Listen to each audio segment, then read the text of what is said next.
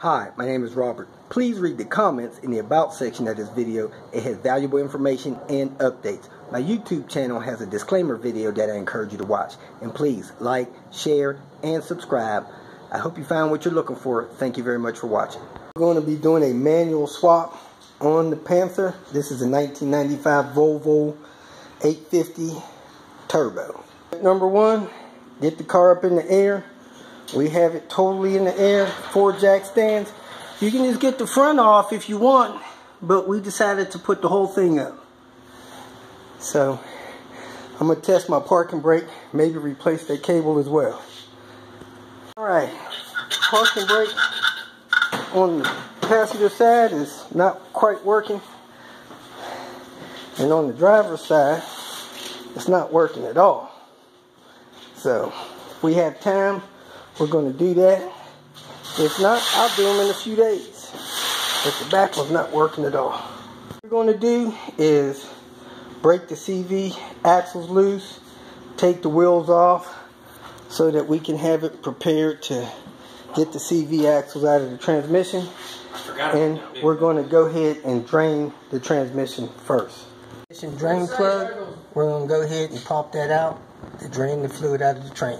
Bolt out of the transmission, not as much stuff on that magnet as I thought there'd be. So next we're going to go ahead and pull the um, bolts out of the struts right there and pull the CV axles out. The side of the subframe has to come down quite a bit. So I'm taking the control arm loose. It's an 18 and a 15 there. 18 and a 15 there. Gotcha. Remove that. Next, I removed the sway bar end link. From there, it's a T30 and 15 millimeter. I also unplugged my ABS sensor wire from right here. And yeah, I mean, you got to take this 19 millimeter bolt off of here and pop this with a sledgehammer to get it to pop loose from there. I had some sway bar bushings. As you can see, my sway bar bushings are shot. So hopefully I brought them with me to replace those. I already knocked this axle loose. So I'm going to pull this control arm out of here, pry it out with a screwdriver, get them to come down, and then I'll be able to get this uh, CV axle out of here. If it won't pop right out, I'll have to pry it out, pop it out. Next, we are supporting the engine because we're going to drop the subframe and we don't want the engine to fall down with it. If you let the engine fall down with it, you got to disconnect all kind of fuel lines and coolant lines and, and engine um, supports and oh, and all of that stuff and, and your mounts. This way, you don't have to do so much.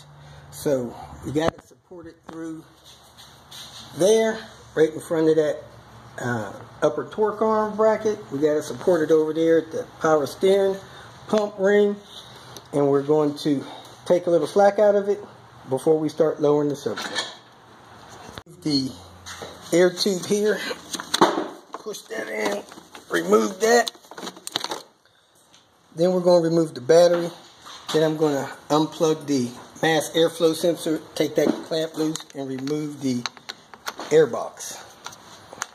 My upper intercooler turbo pipe loose going through the throttle body. Then I took this turbo hose loose going down to the bottom of the intercooler. I got my battery out.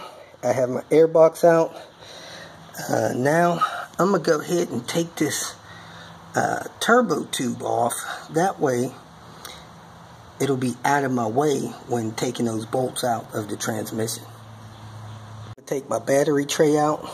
I got two 12 millimeters and then the cable's being held on by a 10 millimeter.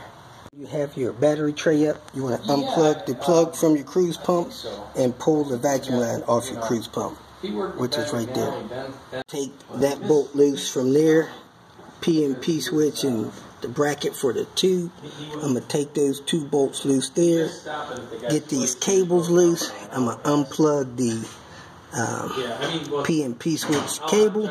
Took a couple bolts out of the transmission up top. I took the bolt loose on top of that mount there. Now I'm coming under the vehicle. I took the transmission torque mount loose.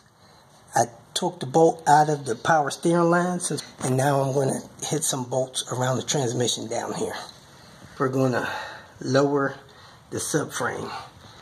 Take the 214s from there, 18 there, 18 there, two 14s from there, 18 there, and we're going to take this one down about two inches. So it'll all be hanging from this uh, bolt here. Bring that down so, and pull that transmission out of there. I also pulled the motor mount bolt from right there. I believe that was a 15 I took the uh, subframe attachment loose here. Took the subframe bolt out there. On the other side, I loosened the subframe bolt there. And I took the subframe stuff loose there. We shut it down last night, right before we pulled the trans out. And I have a bolt in the steering column. I need to take that bolt out so that the rack can drop down. Then we should be good to go to try to work this transmission out. I also left the bolts in the front of this mount here. I may pull those. So hopefully we get this rack and this transmission out here lickety split plug that goes to the PNP switch. From the auto trans. Yes, and we gotta cut all these wires clean. What I like to do is take take this piece right off. Okay. I had to break it apart, but I tried to save as much wire length as possible. Uh, and we're gonna pull out our four pair that we need. And I need, we need eight wires. Uh, no, or, two or, pair. Excuse okay, me, two, pair. pair. Four are four wires. So we already know the color. Uh, I've got a, I've got it over there. I got to look it up. Disconnected the steering linkage. Have you really should do that first, and you could tap it apart with an air hammer, or with like a small sledge and a chisel or something. You want to get that apart before you drop your subframe, like I did. You don't want that stuff pulling on the linkage inside the car it can snap a breakaway pin. Move the bolts from the front mount. That way your subframe will lower low enough to get the transmission out. Now the subframe is low enough. Drop the transmission out. And there is the flywheel there.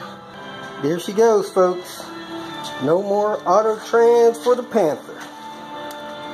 Whack, whack, whack, whack. 12.17 will get them. Right, I have the bolts out, getting ready to pull this out of the way. Have the lower panel out. Then I'm going to take the center console out because we got to do the pedals and all of that jazz and the um, shifter lever. Right, I have the center console area out. I had two screws up there, two screws down there, two screws in the armrest.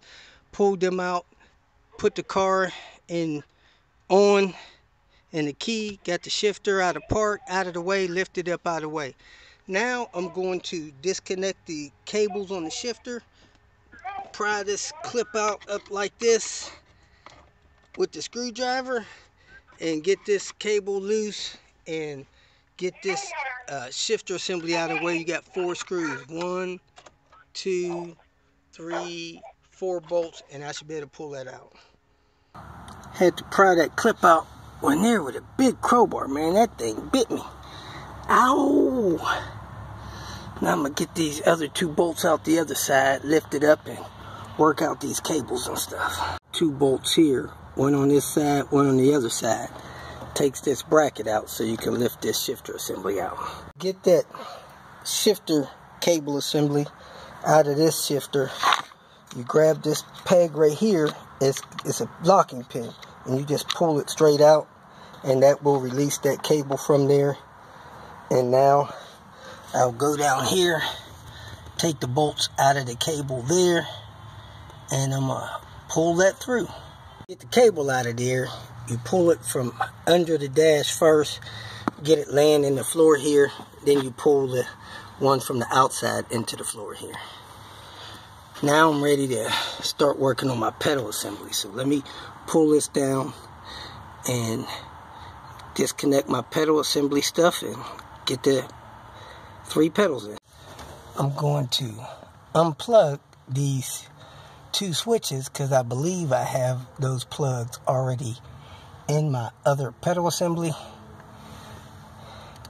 And I'm going to unclip the brake booster arm there. Right there. Unclip that.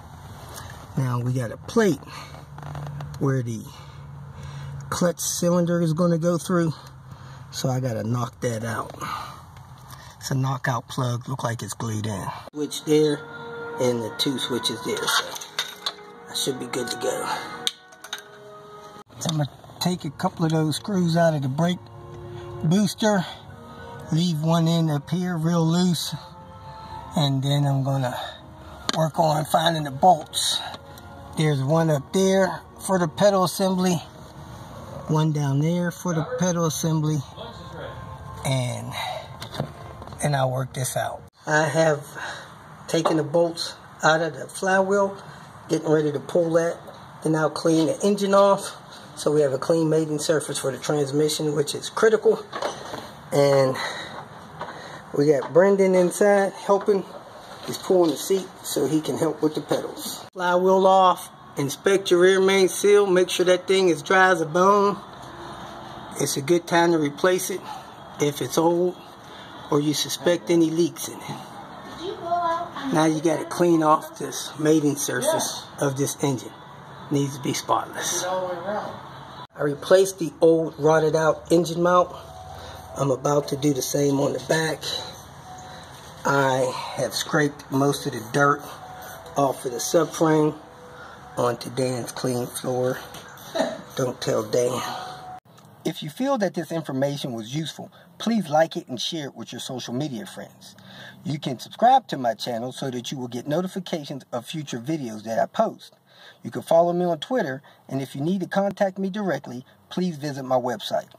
And if you have any questions, leave them below, and someone or myself will reply to them. Again, thank you very much for watching.